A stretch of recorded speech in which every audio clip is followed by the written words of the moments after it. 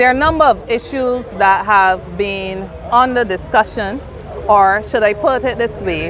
There are a number of issues that have been on the table for discussion and that has been occupying the attention of the parties at the level of the management and the union.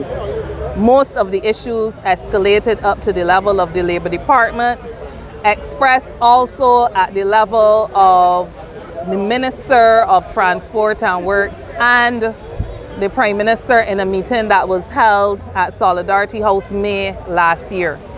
There is not a single issue that has brought workers out here today that is absolutely a new issue. Therefore, it might be the same situation impacting new people, but they are old matters. And I start, start there. And I start there because it's important to say that there comes a point in time where matters are not being addressed as swiftly, as effectively, as efficiently, as expeditiously as they should. And there will always be a straw that has broken or that will break the camel's back. In the situation this morning, the straw is a situation that has occurred regarding acting and appointment arrangements that are still on the table and before the Ministry of Labor through the Labor Department.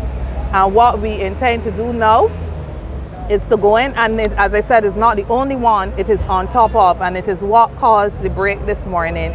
We're going to go in, we're going to try to have that matter addressed because while this is a dispute with the, the workers of the transport board and their management, we are very painfully aware of the impact that it is having on the traveling public and in cases like these, it is always our intention in the shortest possible time to seek resolution so that we can have things return to normalcy as soon as we can have them. Since um, you said that there are issues that are not new, you could give us some more as it relates to when we come back down, because we have to meet with the management respectfully, I would want to go and treat to that. And then once we set a framework I think I will be able to speak more expansively. What I don't want to do is to undermine our talks at the table. The Barbados Workers Union is not the union that operates like that. And you know how many workers, how many, how many, how many workers I can't tell you the exact number, but what I can tell you is that the Barbados Workers Union is sufficiently represented out here. We are, the Executive Council is pleased with the show of solidarity from the workers. We do not have many cracks and that show of solidarity must be understood by the management and the board of the transport board and I have every confidence that they should they should want to respond accordingly. Is this work stoppage going to be for the entire day? One hand can't clap, I can't answer that.